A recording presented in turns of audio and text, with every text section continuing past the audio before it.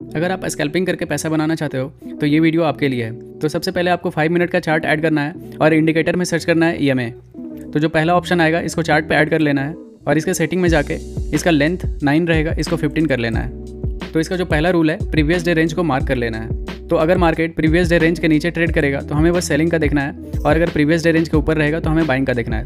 तो अभी इसमें देख सकते हो कि प्रीवियस डे रेंज के नीचे ट्रेड कर रहा है तो हमें बस इसमें सेलिंग का देखना है। तो आप देखोगे कि जब भी ई को टच करके कैंडल रिजेक्शन लेता हुआ दिख रहा है, हमें सेलिंग करना है। आप यहाँ देखोगे कैंडल ई को टच करके रिजेक्शन लेता हुआ दिख रहा है, हम यहाँ पे सेल करेंगे और हमें अच्छा टारगेट मिलेगा। स्कैल्पिंग कर रहे हैं तो ज़्यादा देर होल्ड नहीं करना होता है। दो तीन कैंडल आप होल्ड करोगे अच्छा प्रॉफिट मिल जाएगा, आप एग्जिट हो जाओगे। फिर यहाँ पे आया मार्केट ई को टच करके रिजेक्शन लेता हुआ दिख रहा है। हम फिर से यहाँ सेल करेंगे और हमें ईजिली टारगेट मिल गया। फिर से आप देखोगे यहाँ पे कैंडल टच करके रिजेक्शन लेता हुआ दिख रहा है। हम यहाँ पे सेल करेंगे ईजिली टारगेट मिल गया।